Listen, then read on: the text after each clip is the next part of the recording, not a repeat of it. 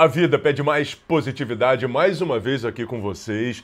Muito obrigado pela audiência, não é isso, meu mestre, meu irmão? É uma Muito honra. E hoje mais um Positivecast, onde a gente vai falar sobre dois temas muito importantes. Claro, dentro da saúde emocional. A gente vai falar sobre ansiedade e depressão. E a gente vai colocar tudo isso na linha do tempo. Estou aqui com meu mestre, meu irmão, que você já conhece, Dr. Sérgio Henrique Garcia. Uma honra, meu irmão. Vamos Sempre nós? junto, sempre junto, Vamos nessa. Então, o que, que a gente pode começar a falar aí para o pessoal sobre a ansiedade e depressão? Porque ansiedade, o pessoal fala assim, ah, é o medo do futuro. Até é. Mas é? e a depressão, travas do passado. E até é. Mas vamos esmiuçar isso um pouquinho mais? Pode ser? Vamos, vamos esmiuçar isso um pouquinho mais. Porque nosso cérebro, ele faz o quê? Ele tem essa condição que a gente chama de tempestiva. Você consegue entender o que é passado, você entende o que é futuro. Nessa condição, você tem que gostar do presente. O presente é onde nós temos que estar, onde nós temos que produzir, gerar riqueza e transformar aquilo que são as demandas do dia a dia. Só que quando acontecem determinados fatos que nós chamamos aqui de epigenéticos, que podem ser decorrentes do meio que você vive, do teu ecossistema, ou de situações com os quais você bem sofrer às vezes um trauma, um acidente, isso pode prender você dentro de uma linha do tempo, né? Já É isso aí. conhece casos assim? Ah, opa, vários. Só para colocar aqui para o pessoal, a gente, de repente, tentar simplificar o que, que é o trauma. A gente pode colocar assim: o trauma é quando a pessoa tem uma experiência negativa, obviamente na história dela, no passado dela, e não aprendeu nada com isso. Aí Não acaba que- ressignificou. não ressignificou. Aí acaba que vira um trauma, certo? Certo, certo. Isso também pode ser através de um trauma físico. Uhum. Tem muitas histórias de que pessoas elas recebem, acontece um trauma, um acidente, e aquele acidente marca a pessoa e ela fica o tempo inteiro preso dentro daquela situação, daquela circunstância, daquela emoção, daquele fato, daquele fenômeno que aconteceu. Conheço casos que podem ser afetivos e até mesmo casos que foram profissionais. Uma demissão, Opa. uma demissão, por exemplo, uma demissão, quando a pessoa ela é demitida, gente, ela tem assim um gatilho emocional de fracasso que entra dentro da mente da pessoa e outro de rejeição. E isso, se não for trabalhado dentro da questão emocional que a pessoa carrega, isso pode fazer com que esse fenômeno fique imprintado dentro do seu sistema de memórias e vire um processo que evita com que ela tente buscar uma nova oportunidade, um novo desafio, porque o sistema, para proteger essa pessoa, vai sempre colocar empecilhos imaginários pra, ou até mesmo reais para que ela não consiga fazer aquilo que ela quer. Então, por exemplo, se você tem um problema no seu passado aqui que não foi resolvido, um, ele vai mexer com o seu sistema biológico, vai mexer com o seu sistema nervoso. Dois, ele pode estar atrapalhando você de desenvolver aquilo que você deseja, aquilo que você realmente quer fazer na Almeja, vida. né? O que você quer? Tá ali- Você desalinha com o seu propósito, a gente pode colocar assim. né? E aí, é, muitas das vezes as pessoas, só porque, como ele falou de acidente, às vezes as pessoas perguntam pra gente assim: ah, eu tive tal situação no braço ou na perna e tal. Ah, mas não tem nada a ver não, porque foi um acidente. E as pessoas acham que o acidente é do nada, né? Pois é, né? Só que o acidente é uma ressonância do universo. Muitas das vezes, o universo está ali ó, te mostrando. Aí tem uma dorzinha, alguma situação no teu corpo, alguma leitura que você não fez e o universo continua lá, insistindo, tentando mostrar para você, querendo mostrar para você, até que você não enxerga e ele vai lá e pode te trazer um acidente ou uma topada, ou de repente está jogando um futebol, um vôlei, praticando algum esporte, aí se machuca e as pessoas acham que foi assim, ah, mas do nada eu me machuquei. Nada é do nada. Certo? Lei da ressonância. É, essa lei da ressonância era muito en- engraçada, difícil de entender e até complicada, né? É complicadinha. Porque ela fala que você acaba atraindo aquilo que você vibra. Então, quando você está vibrando uma determinada frequência de infelicidade, insatisfação, raiva, mágoa, frequências baixas, isso atrai aquilo que está acontecendo ao seu redor. E voltando aqui, ó, falando do passado, a gente tem que entender o que é passado passado, para todos nós, ele tem que ser visto como uma biblioteca. Isso. Essa biblioteca é onde você vai lá consultar as suas experiências que você teve, olhar, checar aquilo, aprender com isso e tocar para frente, cuidar da sua vida aqui no presente. É um okay? arquivo. Então, quanto tempo que a gente tem que ficar no passado do nosso dá dia? Dá a fórmula, dá a fórmula. Eu já gravei isso no Positivecast da rádio. Talvez você já tenha escutado, mas a gente vai repetir aqui. Fala aí. Então, 10% do seu dia você tem que estar no passado. Se você tiver mais de 10% do seu dia no passado, podemos já começar a considerar que existe uma tristeza dentro de você, que você está sendo né, manipulado pelos seus pensamentos, pelos seus sentimentos, e aí esse passado ele está ali né, te abraçando. Né? Se você está mais de 10%, você pode estar, além de triste, você pode estar o quê? Deprimido. E a depressão ela é a perda da capacidade de você ter uma visão de alcance, de projeção daquilo que você deseja e principalmente a estabilidade e o prazer de você estar no presente. Então, ó, mais de 10%, gente, se você está aí, ó, mais de 10% no passado, para, para e começa a refletir o que, que está te fazendo ficar tanto tempo dentro dessa linha do tempo. Hoje, você está numa condição atempestiva, ou seja, está presa lá no seu passado, ok? Então, 10% no passado, e quanto tempo tem que ficar no futuro? No futuro, 20%.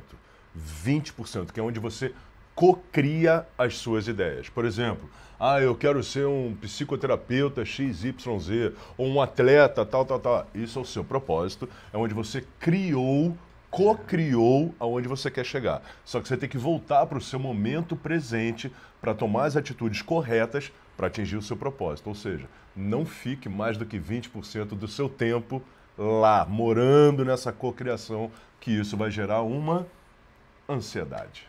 Então, se eu estou no passado, eu vivo uma depressão. Depressão. Se eu estou no futuro, mais de 20% eu estou numa... Ansiedade. Então, eu tenho que ficar onde? 70% no presente. presente. Momento presente. Porque o que importa é hoje, aqui e agora. Esse é o momento que a gente tem que viver. Não bote o seu passado no presente, nem o seu futuro no presente, né? A gente pode colocar essa frase assim também, né? Mas por que as pessoas não ficam no presente? E aí? Será que a gente dá aí uns 10 segundinhos para eles pensarem? Não, por quê? Por que, que você não fica pausa? no presente? Qual a dificuldade de ficar no presente? Eu sempre falo da respiração. A gente tem um, um, um, órgão, um músculo no nosso corpo, que é o diafragma, que é o músculo do presente. Até porque, vou fazer aqui uma analogia, né? Quando a gente coloca aqui um, um, um bebezinho recém-nascido num berço, você coloca ele deitadinho ali, você vai ver que o umbigo dele sobe e desce, sobe e desce. Aí daqui a pouco não pode isso, não pode aquilo, desce daí, vai se machucar. Quando começa a engatear, andar, correr, vira uma loucura, né? Aí daqui a pouco cresce mais um pouco, estuda para prova, vai ficar de castigo, aí começa. Aí a nossa respiração, vamos levantar, será que posso me levantar? Só um pouquinho aqui, ó. Aí a nossa respiração, que deveria ser assim, ó. Diafragmática. Diafragmática, começa a ficar aqui, ó. Apical. E o que, que a gente tem aqui no plexo solar é o ponto do eu quero, eu posso, eu mereço. Vou repetir. Plexo solar, eu posso, eu quero, eu mereço. E eu agradeço. Aqui a gente tem o timo, uma glândula de produção de células de defesa e o coração logo aqui do lado, né? Então, quando a gente começa a respirar por aqui, a gente sobrecarrega tudo isso, toda essa área, né? O plexo solar, o timo, o próprio coração que está ali. Então, a gente sempre, nas minhas aulas de teatro, nos cursos de oratória, eu boto todo mundo, não importa a idade, para começar a respiração. Relembrar como a gente respira, certo? Deve ser por causa disso que as pessoas que praticam yoga, meditação, mindfulness, eles tendem a desenvolver uma capacidade maior de presença e na presença você dominando essa habilidade, essa performance, essa fisiologia na sua vida, você vai ter o quê? Uma capacidade também de melhores escolhas, escolhas mais assertivas, tomada de decisões com mais clareza, mas principalmente, eu acho que o que realmente faz a diferença e o que me é, o que eu busco no presente, o que eu busco no presente com isso é paz de espírito. A paz de espírito ela é considerada e ela é adquirida quando você tem a sua consciência tranquila, quando você consegue fazer a sua higienização mental. Quando você acorda no dia seguinte, você fala assim: eu não devo nada ao meu passado. Eu não devo nada ao meu futuro. E é aqui que eu vou construir, é aqui que eu vou viver, é aqui que eu escolho viver. Afinal de contas, o deserto, ele é um lugar de passagem, gente. Ele não é um lugar de moradia. Por mais que os problemas eles estejam batendo na sua porta, por, por mais que você esteja hoje precisando né, sair de uma condição difícil que você se encontra, precisando desenvolver uma nova oportunidade, novos relacionamentos na sua vida, é no presente que a gente precisa desenvolver isso. É, olhando para trás, buscando as informações do nosso passado, da nossa biblioteca, olhando para frente no nosso laboratório, onde eu vou criar essa questão imaginária, essa imagem, onde eu vou vibrar, como Bono falou aqui, ó, no coração e atrair aquilo. É aqui que eu vou viver. Então a regra é: ame seus problemas, goste do presente e aprenda a respirar melhor. 80% da população mundial são respiradores bucais. 80%. Então nós já temos assim grande dificuldade em desenvolver uma questão de ficarmos no presente. Então se nós conseguirmos pelo menos ter a consciência de que é aqui que eu preciso viver, então isso já vai fazer uma diferença na sua vida, na sua, no seu ecossistema e principalmente nas suas tomadas de decisões e nas suas escolhas. Então, pega essa dica do DNA das emoções para gente. É, eu acho que a gente pode trazer uma frase que é o seguinte: para quem sofre da depressão. Aliás, primeiro um aviso aqui, tá? Depressão, gente, não é frescura, não é bobagem. Você precisa sim de uma rede de apoio, você precisa sim de terapia e não tem problema nenhum você buscar ajuda, pedir ajuda. Aliás, uma das frases é, mais poderosas que existem, né? Um, um, dos pedidos mais poderosos que existem é me ajuda. Não é isso? Sim. E uma das, das perguntas mais poderosas é como eu posso te ajudar? Eu acho que isso também é muito importante. Agora, para quem sofre de depressão é o seguinte: não faça do seu passado uma sentença, e sim um aprendizado. Certo? Perfeito, perfeito. O passado é para ser ressignificado, o futuro co-criado e o presente vivenciado. É, então vamos colocar assim, ó, 70, 20, e 10. 10. 70 no presente, 20 é onde a gente cocria as nossas ideias e 10% é o passado, que é a nossa biblioteca, é o nosso arquivo. Você vai lá, puxa o arquivo, abre a gaveta, puxa a ficha. Ah, tá, com isso aqui eu já aprendi. Guarda a ficha, empurra ali a gavetinha e volta para o seu momento presente. Mas certo? aí as pessoas falam assim, poxa, tá, eu já entendi isso, a regra, eu já sei essa regra, já entendi, mas eu não consigo ficar no presente, eu só estou no passado. O que será que o DNA das emoções pode, às vezes, ajudar essa pessoa a interpretar, a entender por que, que ela está no passado, ela não consegue ficar no futuro? A gente tem diversos lugares no corpo que eles são, servem como alerta, é, revelações, a gente chama de algoritmo do DNA das emoções, para que você entenda que muitas das vezes o seu corpo ele não permite que você flutue de uma maneira suave, tranquila, satisfatória na sua linha do tempo. Então o nosso corpo ele sempre vai chamar a nossa mente para ação.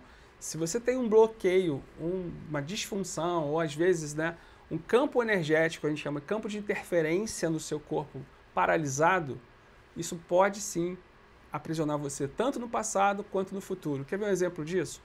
a gente tem uma articulação aqui chamada quadril. O quadril é uma articulação que ele serve como base de mobilidade de toda a coluna, mas também de todo o corpo.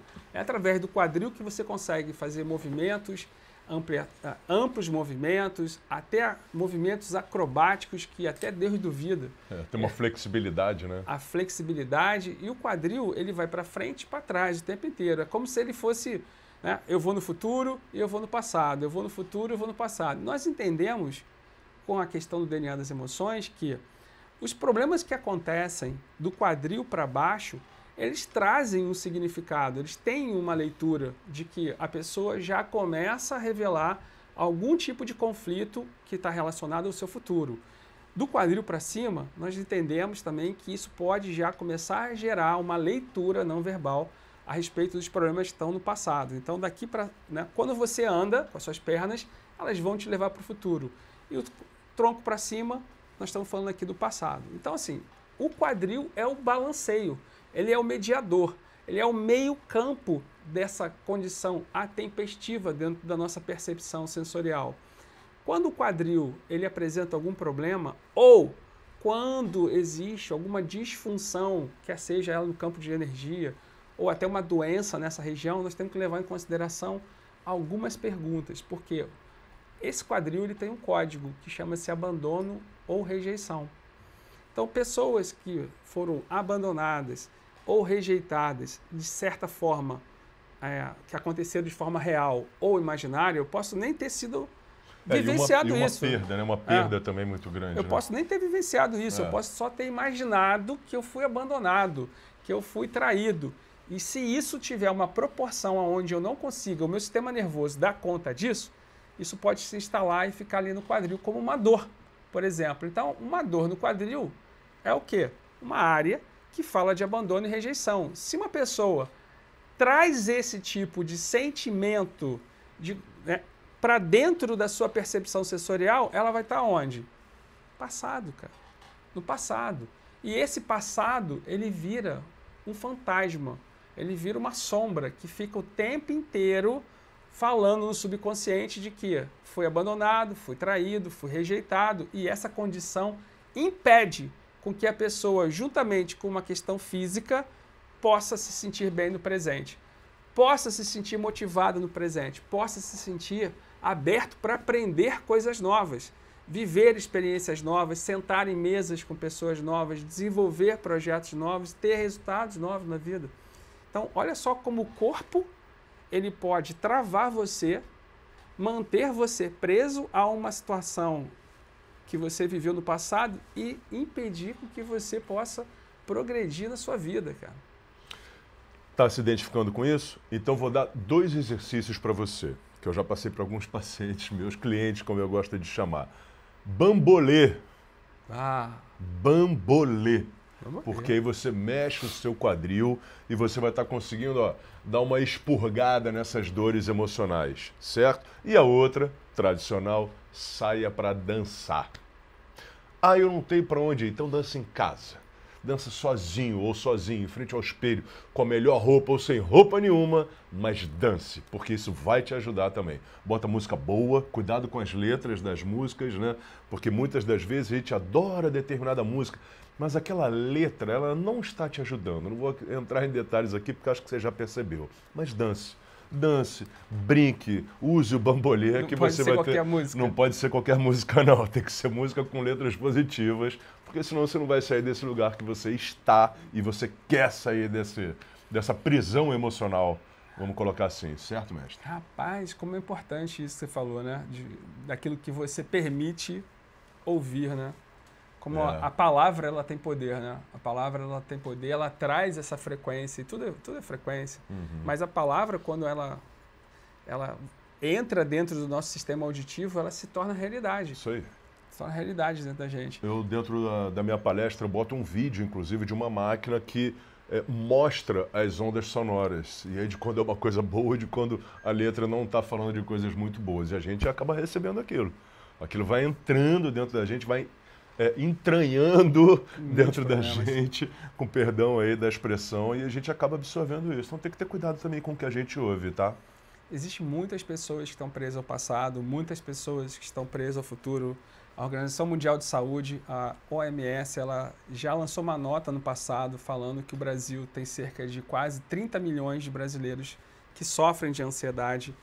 Então, assim, é importante não só se tratar essa doença, que ela atinge centenas de milhares de brasileiros e outras centenas de milhares de pessoas pelo mundo, mas também você entender que você é o protagonista dentro dessa história.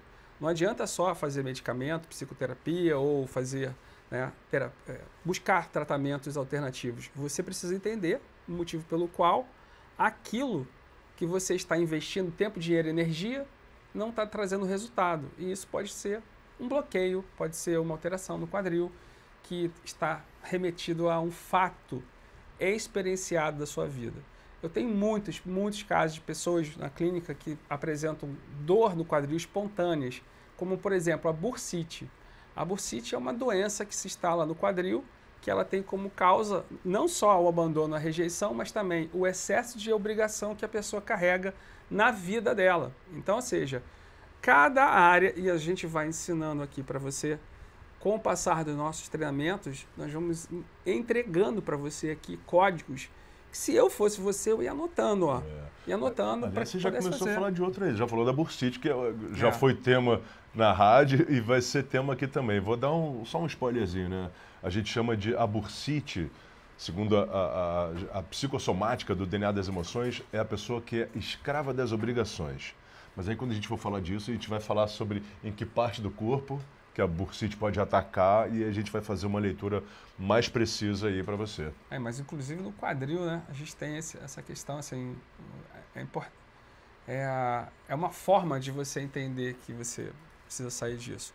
Falamos do passado, falamos do futuro e como é que a gente fala do presente? Mais o quê? Que mais eu posso ficar no presente? Que mais além de bambolê, além de dançar, além de tratar e entender que né, o quadril ele tem esse meio campo, ele tem essa permeabilidade de você conseguir ir para frente, para trás, futuro, passado e se manter no presente. Qual mais a gente pode pensar aqui? O que, que a pessoa precisa entender de presente? E aí? O que, que você precisa aprender a entender de presente? O que que o teu presente... Você fala muito isso, cara. A palavra presente. O que, que a, a palavra presente é o que, que é o presente de você estar aqui? Você já parou para pensar por que, que o nome é presente? Presente. Essa dádiva divina da gente estar nesse momento presente, vivendo, respirando aqui e agora? Já parou para pensar nisso? Que o nome é presente e não é à toa? Então, o nosso presente, nós entendemos o DNA das emoções que é uma, capaci uma capacidade de você desenvolver crescimento e colaboração na vida. Quando você está alinhado com essa proposta de crescer e colaborar, você está alinhado no seu presente e o presente ele vai se tornar satisfatório. Você vai gostar dele. Você vai até gostar dos seus problemas. Você vai até gostar do seu problema. Quando você entra dentro desse processo de crescer, essa consciência e colaborar, porque o que acontece na vida real, no jogo real, é, é que muitas pessoas elas não entendem que isso precisa ser construído de uma maneira é, igual. Né? Equalitária. Equalitária. Equalitária. Tem que crescer de maneira equalitária. Né? Então, ou seja, no momento que eu cresço, eu colaboro. Se eu só cresço e não colaboro, essa conta não vai fechar. A pessoa ela vai viver por coisas, não por pessoas. E se eu só colaboro e eu não cresço, eu vou viver só por pessoas e eu não vou viver por coisas. Então, essa conta, quando eu entendo que o DNA humano ele tem uma relação de você poder desenvolver paralelamente essas duas frentes, você vai estar gostando do seu presente, aliado do seu presente. Claro, vivenciando essas dicas aqui também, de você manter o seu corpo. O seu corpo, ele é o veículo que vai te levar para o seu objetivo, para o seu crescimento, para que você possa aqui estar tá vivendo essa experiência humana na Terra da melhor forma possível. Então, o combustível e a rota, cara, é conosco. A manutenção né, é conosco. A gente precisa desenvolver isso na nossa consciência. É isso, perfeito. E aí, esse Positivecast fez sentido para você? A gente espera que sim. Então acompanha a gente, o Instagram tá aí, tanto o da rádio como o nosso, YouTube, tudo. Então segue a gente e vem com a gente, porque a vida pede mais positividade. positividade.